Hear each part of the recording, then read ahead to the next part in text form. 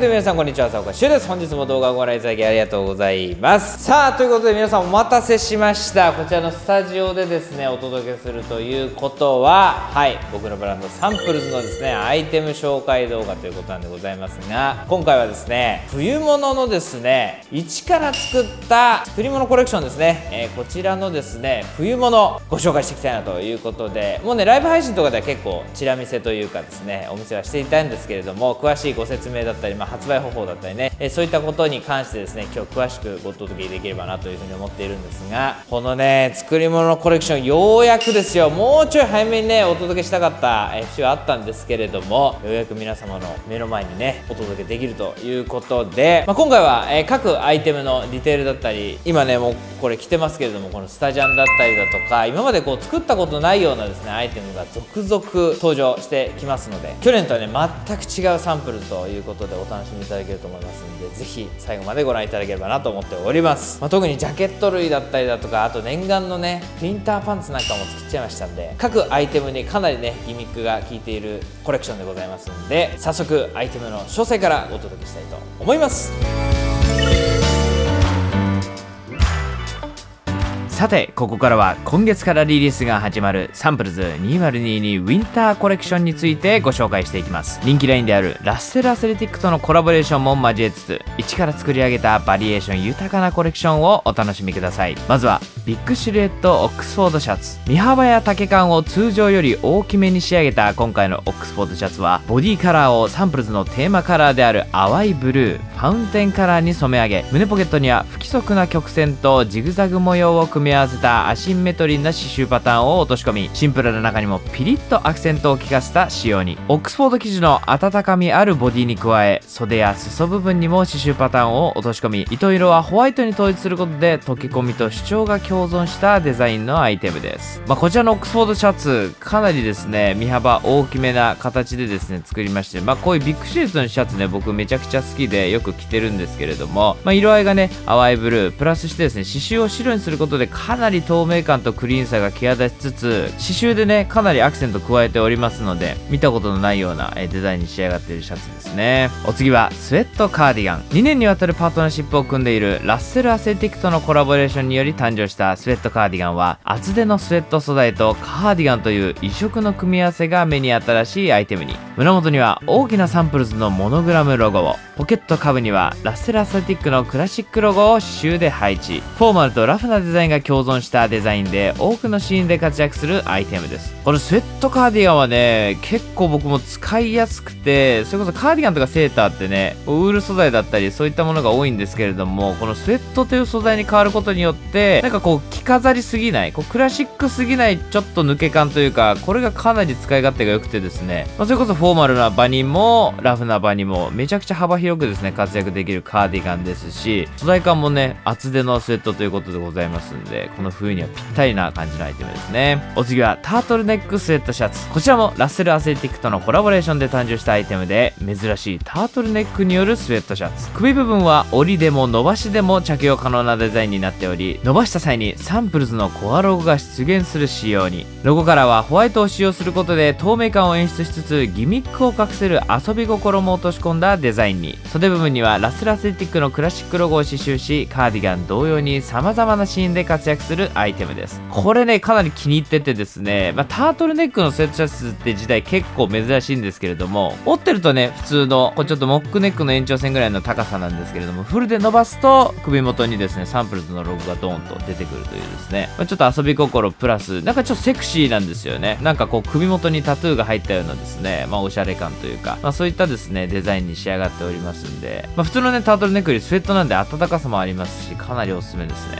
お次はクォータージップスウェットシャツ。首元にジップを配置しシェイプされたシルエットのクォータージップスウェットシャツ。ジップより下の部分を絵画のキャンバスに見立てオランダの画家ヤン・ダヴィッツゾーン・デ・ヘームの静物画を落とし込みました。暗い背景に浮かび上がる果実やロブスターは独特な不気味さと官能的な魅力で見る人の心を揺さぶる。首元まで隠される清楚なボディと落とし込まれた絵画のギャップが魅力のアイテムです。こちらねずっと作りたかったクォータージップをですね、まあ、作る際際に、まあ、この下部分ねジップより下の部分に何入れようかなと思った時にここはやっぱキャンバスっぽいなと絵画のキャンバスっぽいなということで今回はですねニューヨークのメトロポリタン美術館に飾られているですねこちらの静物画を落とし込みました。静物画ってねこう人物画と違ってなんかこう多くを語らない魅力というかこっちがね勝手に想像できる余白がですね非常にありまして、まあ、それでいてなんかちょっと官能的みたいな奥深さをですね、えー、感じるジャンルなので、まあ、これを落とし込むことによってまあね人の顔がこの自分のフロントになるとかなり派手かなと思いますけれどもこれぐらいのバランス感覚の絵画だと、まあ、おしゃれにセクシーに着れるんじゃないかなということでですね落とし込んでみました。お次はバーシティジャケット。チャコールグレーのサテンボディにサンプルズのアーチロゴを大胆に配置したバーシティジャケット。ロゴ部分にレザーを使うことでスポーティーな世界にラグジュアリーな質感をプラス。袖には S ロゴを刺繍で配置し裏地はキルティング仕様に。リブ部分やロゴの縁部分にクリームカラーを差し込みに温かさを加えたのもポイント。ライトな着心地と対照的な作り込みを実感できるアウターアイテムです。こちらのねバーシティジャケットはですね、まあ、こういうスポーティーなジャケットってねもう前から作りたかったんですけれども、まあ、今回はグレーをですね結構このコレクションの主軸に置いているというか一つのねテーマカラーでもあるんですけれども今回はこのチャコールグレーを全体に落とし込みつつですね、まあ、胸部分のロゴアーチロゴなんですけれどもここにねレザーを使うことでこう素材がねいろいろ違ったりだとか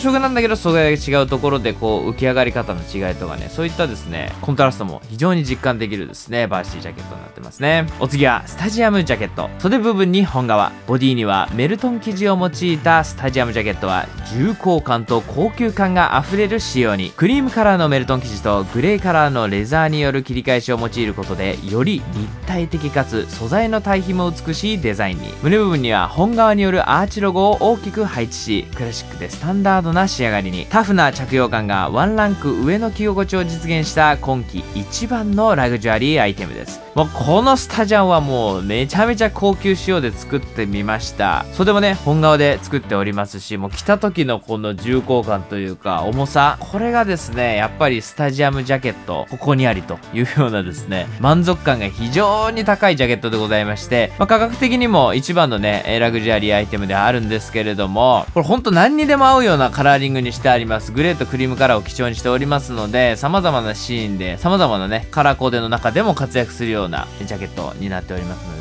ぜひチェックしてみてください。お次はペインターパンツ。タフなダック素材によるボディにはクリームカラーを採用しサイドステッチを裾に向けてユニークな形で表現したデザインに。ステッチカラーはサンプルズのテーマカラーである淡いブルー。ファウンテンカラーを採用することでさらに透明感を演出しワークテイストの中にサンプルズ独自のクリーンなデザインを落とし込んだ唯一無二の仕上がりに。様々なコーデスタイルにフィットするアイテムです。こちらのペインターパンツもね前からずっと作りたいって言ってたやつなんですけれどもこのサイドステッチが本当独特です。これ流星剣とギザギザがですね、組み合わされた、このシャツのね、胸ポケットにも使われている模様なんでございますけれども、これがね、なんかちょっとこう、サイドから見た時あとはこう、スニーカーとか、フットウェアと一緒にですね、写真を撮った際に、かなりアクセントとなってくれる仕様になっておりまして、ボディ自体もね、ダブル2で、かなりね、ハードな作りではあるんですけれども、対照的なね、このクリームカラーとファウンテンカラーによって、重厚なんだけれども、見た目はそこまで重くないというですね、仕上がりになってますんで、こちらもぜひチェックしていただければなと思ってますね。最後は新型のシューレース。サンプルズの中でも屈指の人気を誇るシューレースを新しい形でリリース。先端に付属していたゴールドのチップを取り除き、よりナチュラルで温かい質感に、どんなスニーカーにも寄り添い、魅力を加えるのではなく、引き出すサンプルズのシューレースが装い新たに仕上がりました。このシューレースはですね、まあ、前からこのチップなしのも発売してくださいっていうお声もあってですね、僕も最近、例えばニューバランスとかエアフォースワンとか履くときに、まあ、そのモデルの質感によってあチップある方がいいなない方がいいなっていうのがですね結構あったので今回はですねカラー一色ナチュラルだけなんですけれどもチップなしの、えー、コットンのシューレス作ってみました。ちょっとね幅も広めでですねふわふわの、えー、仕上がりのコットンシューレスでございますので、まあ、サンプルのねシューレス愛用してくださってる方めちゃくちゃ多いと思うんですけれどもそれとまた違